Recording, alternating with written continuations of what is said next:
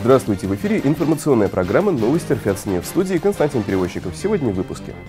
Телескоп РФЯЦНЕФ исследует Вселенную. С космодрома Байконур состоялся запуск астрофизической обсерватории «Спектр РГ».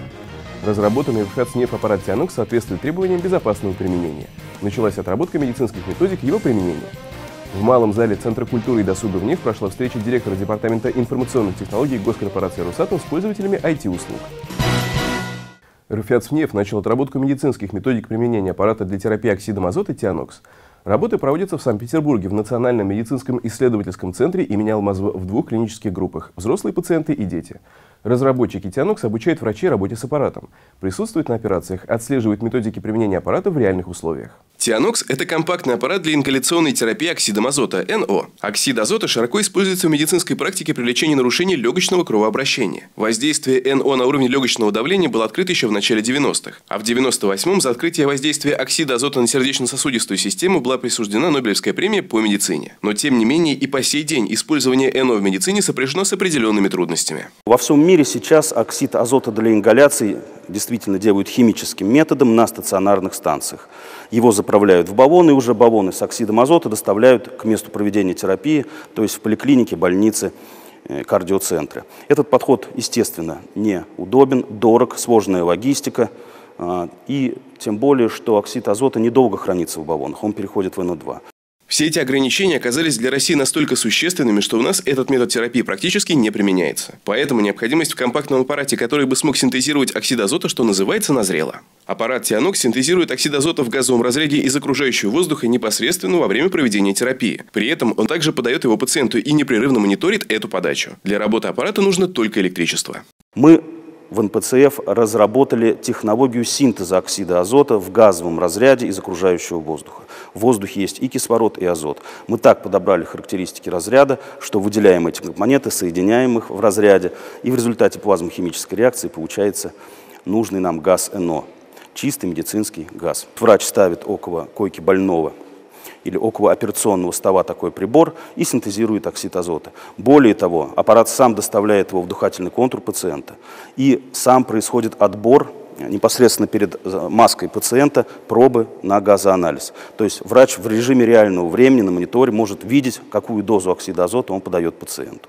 Возможность синтезировать оксид азота во время терапии позволяет полностью отказаться от использования баллонов и существенно повысить доступность такого лечения в практической медицине самых разных отраслей – кардиологии, пульмонологии, при лечении абдоминальных заболеваний, ожогов, ран и так далее. По мнению академика РАН, доктора медицинских наук, профессора Александра Чучалина, повсеместное внедрение аппарата для терапии оксидом азота тианокс в медицинскую практику позволит увеличить среднюю продолжительность жизни в России на 2,5 года.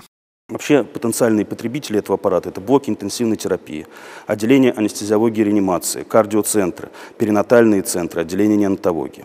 Вот в неонатологии, например, одной из основных проблем является легочная гипертензия, то есть высокое легочное давление у недоношенных детишек. Вот в Америке таким детишкам в инкубатор подают оксид азота из баллонов, и это дает им время, пока сам организм не станет вырабатывать ИНО, продержаться и не умереть. Вот у нас, к сожалению, так как отсутствует такое оборудование, такой практики нет, и эти дети умирают. Вот. Второе, это тоже связано с детской медициной.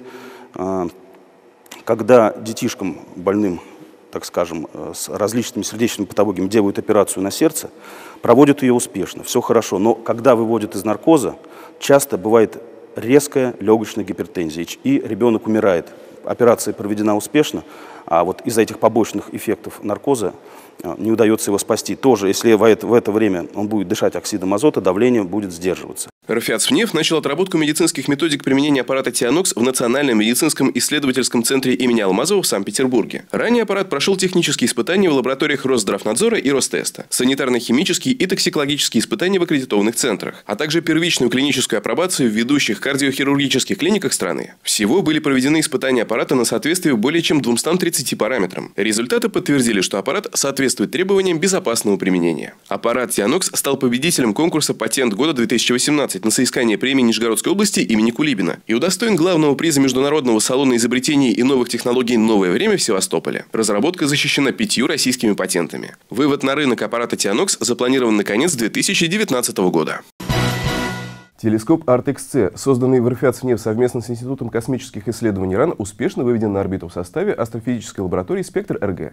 Запуск состоялся с космодрома Байконур 13 июля. Как рассказал один из разработчиков, начальник отделения Института лазерно-физических исследований РФЯЦНЕВ Сергей Григорович, ArtXC – первый российский рентгеновский телескоп с оптикой скользящего падения, с применением полупроводниковых детекторов на основе кадмия-телура.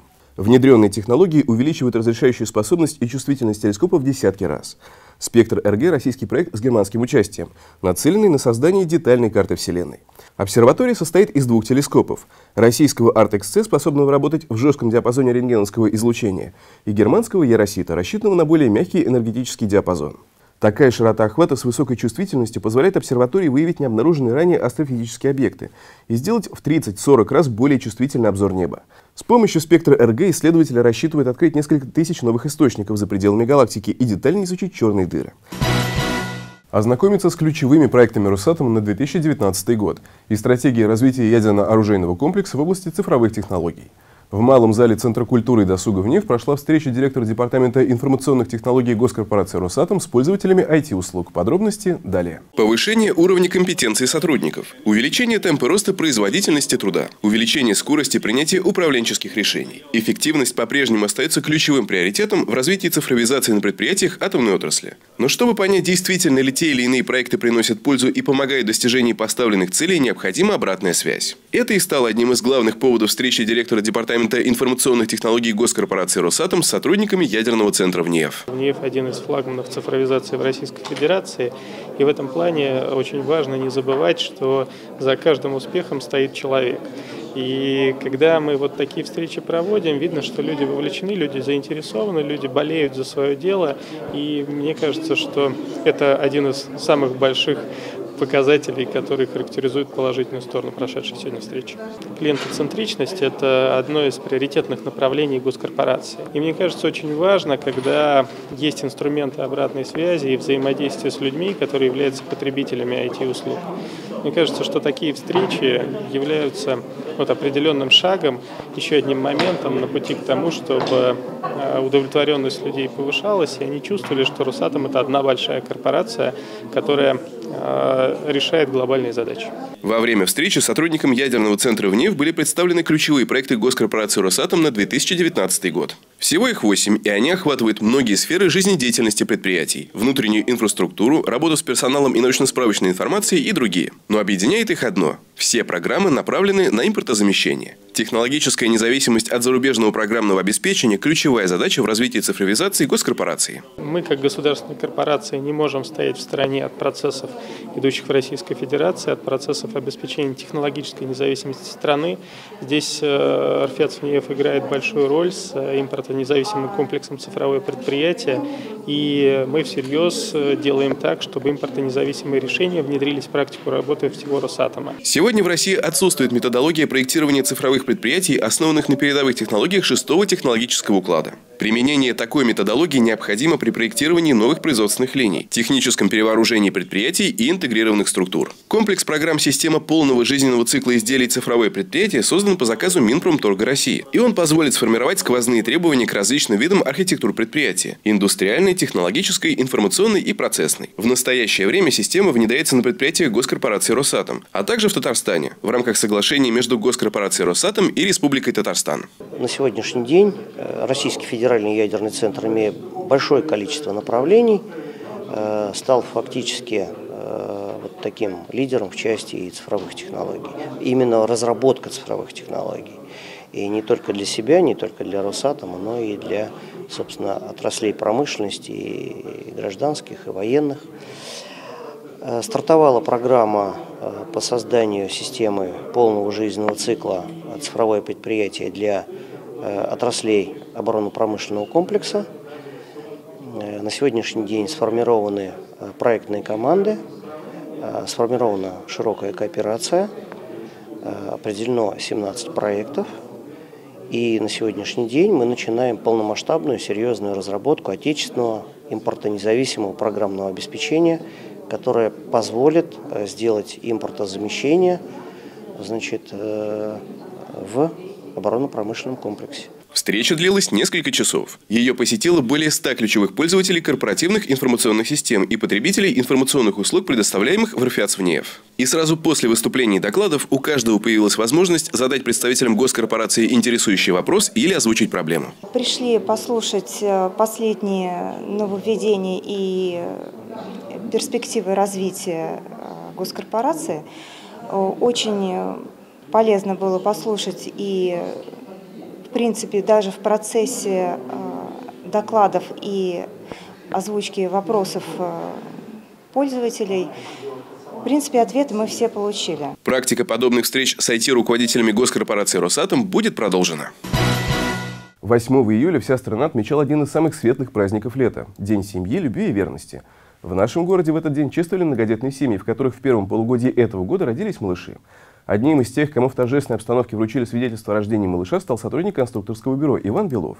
О том, каково это быть многодетным отцом и как совмещать семью и работу, расскажем далее. Увлеченный ответственный работник или внимательный и заботливый отец. Пока одни выбирают между карьерой и семьей, Ивану Белову с успехом удается совмещать обе роли. Вечерами и по выходным он заботливый муж и любящий папа. В будни днем старший научный сотрудник конструкторского бюро, где главная задача – достижение целей, поставленных перед ядерным центром в НЕФ, руководством страны и госкорпорацией «Росатом». Работа очень увлекательная, творческая, интересная за что хочу выразить отдельную благодарность нашим руководителям за их неравнодушный творческий тоже подход и добрый, главное. Да и зарплаты не обижают. Совмещать карьеру и роль главы большой семьи непросто, признается Иван. Но все же работа на государственном предприятии отличается стабильностью, уверенностью в завтрашнем дне и хорошим социальным пакетом. Известно, что коллективный договор ядерного центра в НЕФ признан лучшим в атомной отрасли.